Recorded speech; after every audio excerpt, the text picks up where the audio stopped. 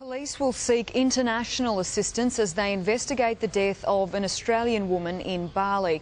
In an extraordinary twist, 10 News has learnt the last person to see Denny North alive has left the country without being interviewed. But as Stephen Spencer reports, Indonesian officials aren't treating the case as suspicious. Indonesian detectives and club managers at the site where a dream life in Bali came to a tragic end. This private villa plunge pool was where 33 year old Denny North was found floating face down on Sunday. Security dragged her to the edge of the pool and called an ambulance. Witnesses say she died on the way to hospital. We are still investigating this.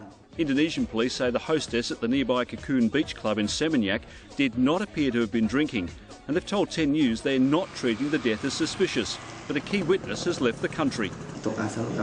We are still looking for her friend who found her at the pool in her villa on the night. Indonesian police say they will be seeking assistance from Australia, but Australian Federal Police here in Canberra have told 10 News they've received no such request and it's entirely a matter for Indonesian authorities.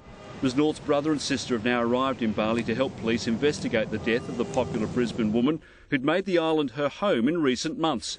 She made a big impression on customers at the Cocoon Beach Club, many of whom have taken to Facebook to join tribute sites created by friends and family. Stephen Spencer, 10 News.